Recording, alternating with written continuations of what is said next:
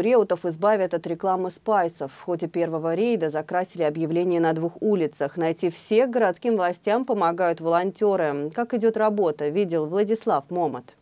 Улица Южная от станции метро буквально пестрит рекламными объявлениями. Одни написаны на асфальте, другие, как здесь, на стене дома. Вроде бы продается соль, но под этим объявлением скрывается реклама курительных смесей.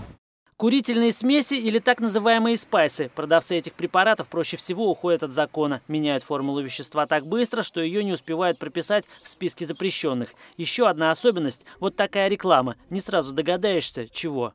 А знаете, вот что это за объявления такие?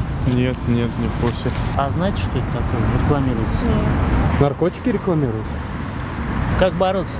Как бороться? Ну, желательно затирать, конечно, это все, но просто они очень быстро заново все появляется. В Реутове на тропу войны с незаконной рекламой выходят обычные школьники. Волонтеры взяли в руки кисти, краски и приступили к работе. Ребята должны понимать, что спайс – это не то, что им надо, и они могут сломать себе жизнь.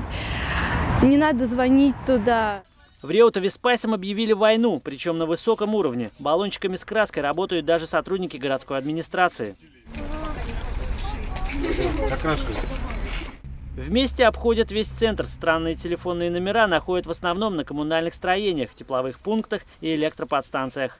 Привлекаем внимание жителей, просим сотрудничать, звонить нам, сообщать, фотографировать, чтобы мы могли оперативно удалять эту информацию. Потому что, конечно, нам совершенно не надо, чтобы наши дети, наша молодежь видела, читала, звонила, интересовалась, что это такое. Акция «Антиспайс» продолжается. В Реутове ее объявили бессрочной. В проведении надеются на помощь горожан, причем не только информационную. Владислав Момот, Алексей Золотарев для РТВ.